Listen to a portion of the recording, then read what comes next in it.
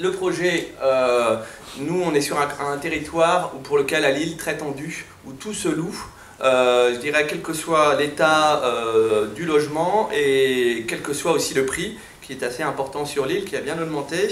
Il consiste à mobiliser les agences immobilières et les propriétaires bailleurs à rénover euh, les logements locatifs. Le constat, c'est qu'un habitant sur quatre est en précarité énergétique sur, euh, sur le territoire de l'île.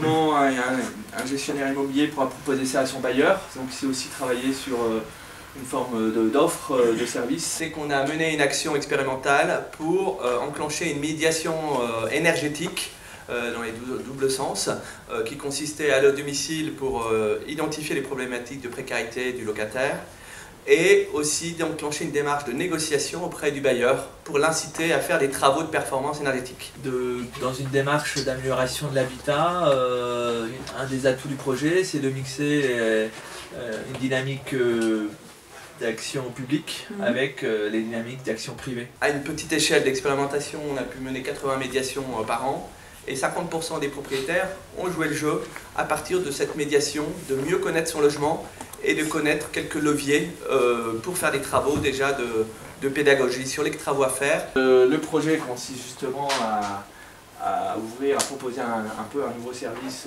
aux, bailleurs euh, voilà, sur améliorer les performances énergétiques de son logement. Donc le projet là tout de suite c'est d'aller un peu plus loin, de massifier. On a sur un volume de 20 000 logements sur l'île à améliorer en performance énergétique et c'était d'associer les professionnels de l'immobilier euh, pour toucher les propriétaires bailleurs et les inciter à améliorer les performances énergétiques. La démarche de, de, consiste plutôt à, une démarche assez euh, pédagogique d'inciter, de, conseiller les propriétaires bailleurs par le biais aussi des gestionnaires immobiliers pour rénover euh, les, logements locatifs. Lille c'est, sera capitale européenne euh, du design en 2020, donc qui permet de poursuivre euh, la suite d'Expereno.